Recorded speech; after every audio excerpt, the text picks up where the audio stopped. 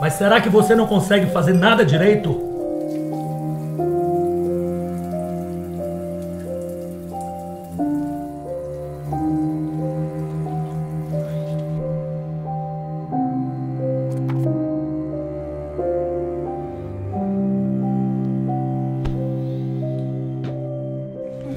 Quem é esse cara que tá te mandando mensagem?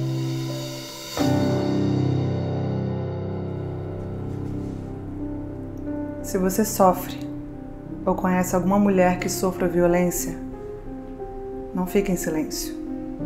Denuncie. A violência contra a mulher não se restringe apenas a agressões físicas. Ela também está em relacionamentos abusivos, que se manifestam com agressões verbais e psicológicas.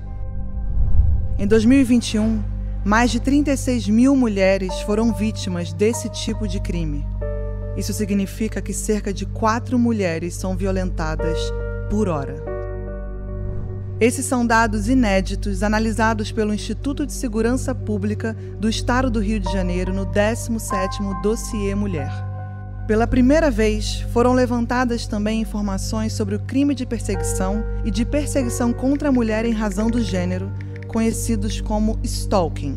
Além disso, o dossiê aponta que 18 mil mulheres foram vítimas de mais de uma forma de violência simultaneamente. Todos esses levantamentos, que fazem parte do dossiê Mulher, colaboram para a elaboração de novas políticas públicas. O governo do Rio segue trabalhando para promover uma rede de apoio cada vez maior para as mulheres.